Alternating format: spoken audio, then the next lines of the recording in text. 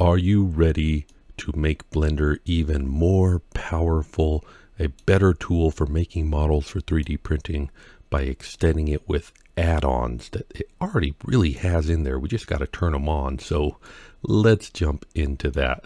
I've got a low poly dyno here so that we can just have something interesting to look at. But actually, most of what we're going to do is going to take place in the Edit, Preferences window, and under the add-on section. So here we see that Blender has set up in it a ton of add-ons. And I'll tell you the truth, these are all super, super useful. And, you know, I've turned them all on and honestly, they don't all get in the way, but you really don't need a lot of them for 3D printing. Let's talk about the ones that you absolutely do need for 3D printing. To begin with, there is a 3D print add-on. So just click on the search function in little, little spyglass uh, tab right there, panel right there, and type 3D, and look, everything's 3D, print toolbox. So dash print, aha, there it is, mesh 3D print toolbox. And when you click that on the panel on the right hand side of the 3D view, you'll notice we get a new tab that says 3D print. And if you click on that, okay, down at the bottom, there's an export button. Expand that out and take that export button and drag it to the top of this 3D view. And then you can actually close everything else down. I really don't use anything but this export button. But there you go. If you do that, you have got everything uh, ready to go. So you can export STLs in a just a button click and you don't need to remember to check selection only when you do that because that's the default. Oh, it's so good.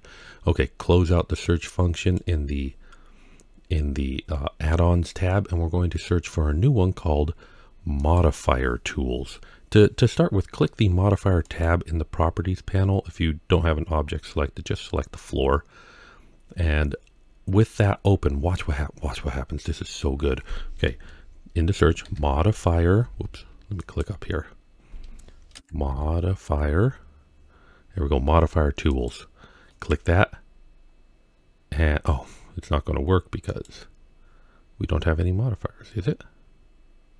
Yeah, we'd have to turn on a modifier. Okay, so if on the floor real quickly, we'll just add a modifier, add a Boolean modifier.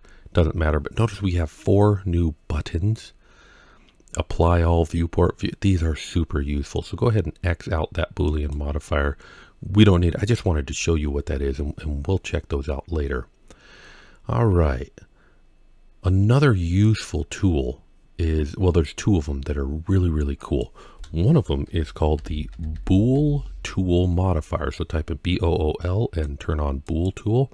And notice we get the Edit tab in our right-hand panel. And if you click on that, we now have a bool tool which you can open up and we can auto or brush boolean difference union intersect and scale.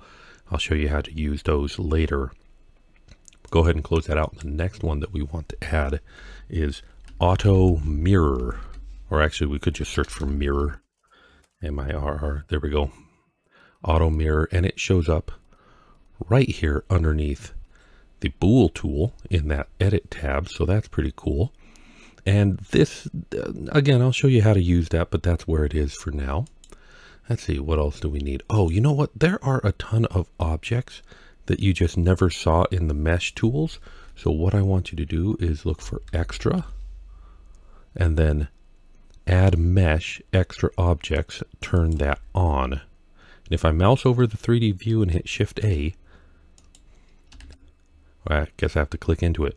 Notice now we have, it used to stop at monkey, and now it goes down to rock generator, single vert, rounded cube, torus object, math functions, gears, pipe joints. We have all these extra objects, and they are absolutely fantastic. And we'll, we'll use them at some point in the future, but I just wanted you to see what that did. Close uh, X out the search function, and this time we're going to search for loop tools. Turn that on as far as what loop tools do, it's going to be difficult to show you right now, but trust me, I use that quite a lot.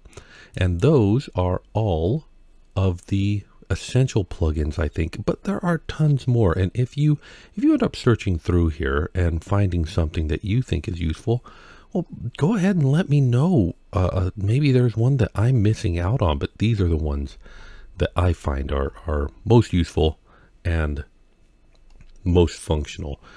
But there we go. And so I hope that these will help you guys set up. I'm, I'm definitely excited to have these finally back in my Blender.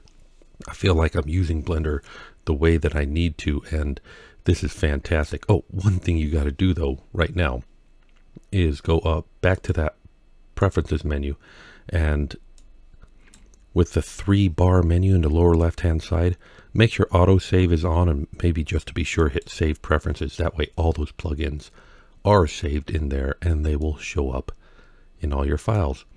Well, that's it for this video. I want to thank everybody who supports me on Patreon. You make these videos possible, and you guys really are the wind beneath my wings.